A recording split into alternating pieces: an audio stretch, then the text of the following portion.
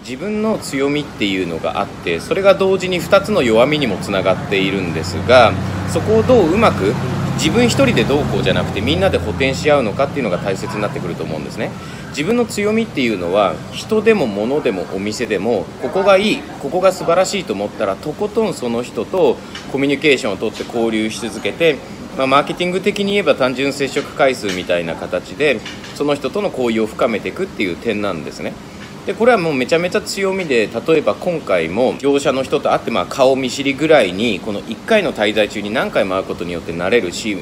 向こうにとってもやっぱり信憑性信頼性っていうのが短い間で最大限まで上げることができるっていう強みはあるんですよ。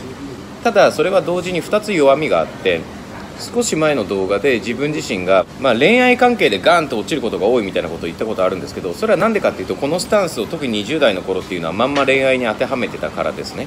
恋愛に当てはめると正直言って重いやつなんですよ。一人の人が素晴らしいこの人、まあ、誰かと付き合ったとして一人の人が素晴らしいと思ったらその人ばっかみたいになっちゃう。でこれはまあただの重さというか。でそれがまあ例えば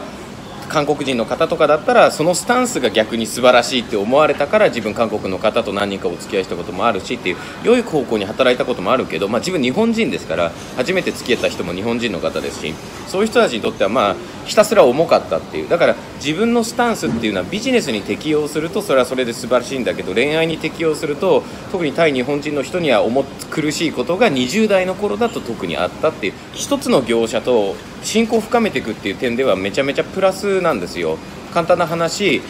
例えば私公衆賓館に行ったらもう顔パスで行くだけで部屋っていうのをアップグレードしてくれますしあとは業者っていうのもまあ自分が生徒だからってことであ自分の生徒だからってことでみんな安くしてもらいます。ただその反面一つの業者と交流を深めるあまり他の業者を開拓することにちょっと不慣れに不慣れっていうかそっちがおろそかになってしまうことがあるんですね。でじゃあそれを補填するのはどうすればいいかっていうとやっぱツアーなんですよ。ツアーだと自分の以外の行動を他の生徒さんがするじゃないですか。でその結果自分が行っていない場所自分がコンタクトを取っていない場所にも生徒さんにこういうふうにくっついていけばいいことができるんですね。でその結果今回もタイの工場の人とかと知り合うことができたっていう利点がありました。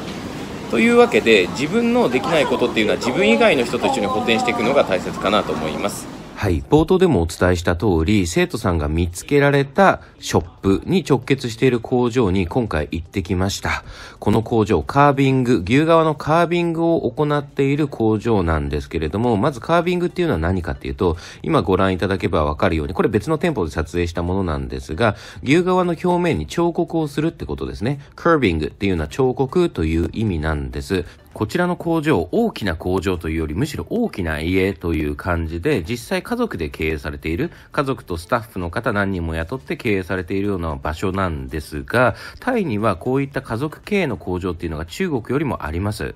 だからこそ、まあ、大きな企業にはないような、ちょっとしたプロトタイプを作ったりだとか、小ロットでやり取りしたりだとか、そういったことに気さくに応じてくださるんですね。とはいえ、中国と全く同じです。業者には良し悪しっていうのがあります。特に前回講習行かれた木村さんっていうのは、身に染みて分かっていると思うんですが、店舗に直結している工場でも、工場に直結している店舗でも直接行ってみると、他のお客さんの商品をバンバン見せてくるところと絶対見せてくれないないところっていうのがあるんですね。もちろん私が今回行ったこちらの工場っていうのは後者です。他のお客さんの商品をバンバン見せるっていうのは、せっかく他のお客さんが、例えば ODM した商品でロゴもついているものであっても、パッと見せてくれちゃうんですよね。それは明日は我が身でですね、そういった工場、そういったお店で商品を作ると、自分が丹精込めて作った商品っていうのが、プロトタイプができた直後ぐらいから他のお客さんにもバンバン見られるってことになるし、ブランド名で検索して自分の店舗っていうのも目つけられる、唾つけられるってことになるので、そういうのは絶対良くないです。向こうとすればなるべく多くのお客さんを得たいからそうやられている方もいるんですけれども、そういった場所っていうのは、なんて言うんでしょう、信頼性っていうのがないですよね。ですから今回パラディウムという場所の地下にある超有名な牛革工場行って品質はもうピカイチ、そこも素晴らしかったんですけれども、お客さんの商品とかお客さんの商品の画像とかをバンバン見せてきたので、ああ、こことは取引できないなっていうふうに思いました。逆にこちらの工場は、今手前にいる大柄の方っていうのがお兄さんで、奥にいる方が弟さんなんですけれども、お兄さんに必ず、あの、この商品取ってもいいですか？とか全部聞いて、で、この商品はダメ、この商品はダメみたいな形で省いた状態で現在撮影しています。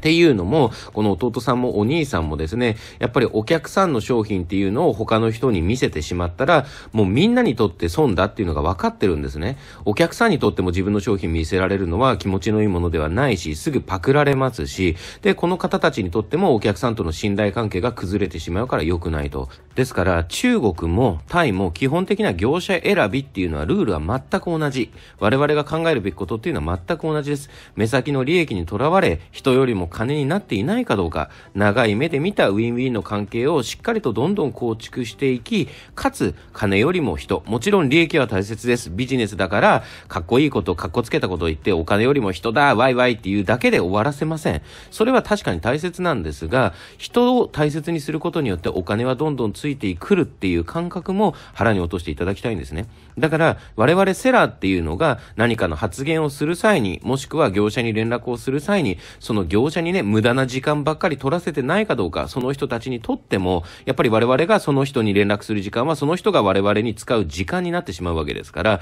ちゃんと相手の利益っていうのも常々考えて行動していく必要っていうのがあると思います。というわけで、今回はカービング、彫刻のテクニックも最強、人としても人徳があって考え方っていうのも非常にに謙虚かつ堅実、三方よしの精神を持った対人、ご兄弟が経営されている工場っていうのを紹介させていただきました。近くに自動車工場などもあるエリアなので、そこまでだいたい車で30分分以上ぐらいかかるんですけれども、このような形で、これ帰りの映像なんですが、行きも帰りも、この方がオーナーとオーナーの奥様なんですが、ご夫婦でわざわざ車で迎えに来てくださって、ホテルの目の前まで、で、見送りとお迎え両方ともしていただきました。本当に感謝感謝感謝ですね。このような形で私が今回タイのツアーっていうのがなんで格安だったのかっていうと、実は私の方が生徒さんから学ぶこと、生徒さんのおかげで得られる情報っていうのが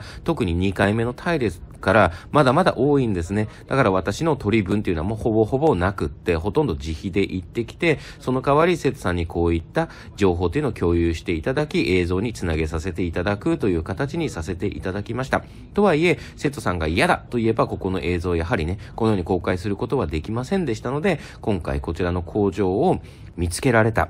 そして連絡をどんどん取って、工場に行くっていう予定をね、立ててくださった参加者の N さんには心より御礼申し上げます。